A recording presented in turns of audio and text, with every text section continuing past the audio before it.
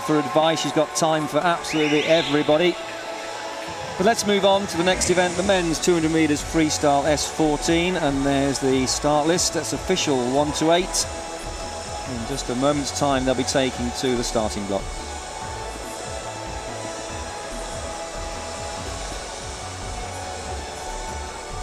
The S14 class, of course, swimmers with an intellectual disability. Was the classification just reintroduced to the Paralympic programme in London in 2012 after a 12-year absence. There was a big issue with the classification of these intellectual disability athletes. Ladies and gentlemen, back in Sydney in 2000.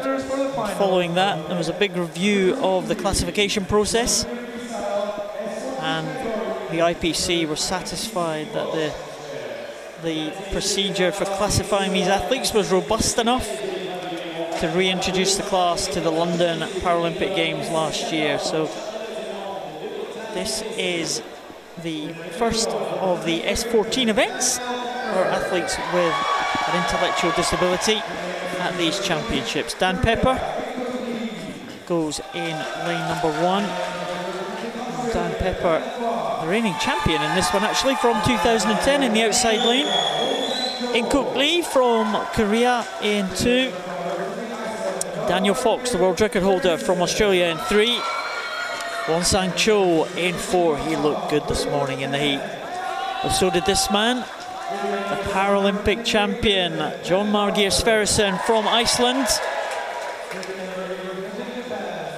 Wai Lok Tang from Hong Kong goes in lane six. Hong Kong with a big representation in the S14 class. Ben Procter, the second GB swimmer in lane seven.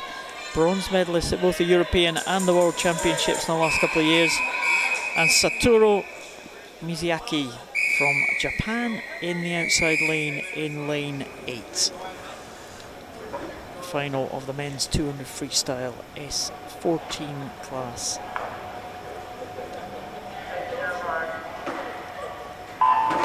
Promises to be one of the great races of these championships. Cho away there in 0.69, very quick off the blocks. We've got reaction times across the scoreboard. There's not much in it at the moment, Paul, across the field here. All eight competitors, four lengths off the pool though, but going very well in lane number two is Lee.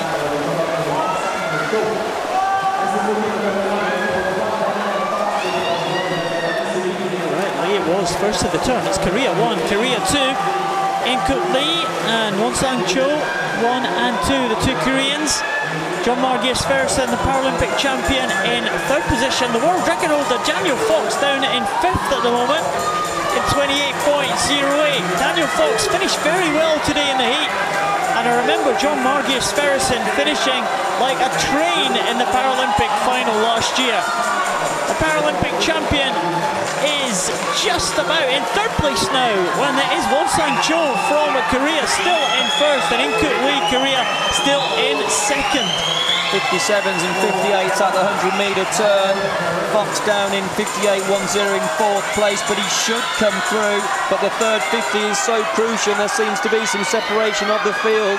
And in lane number four, Cho starting to edge ahead, perhaps a little bit more ahead of lane number five, Sverrisson. Sverrisson having the swim of his life. Sverrisson in second, just 34 hundredths of a second down.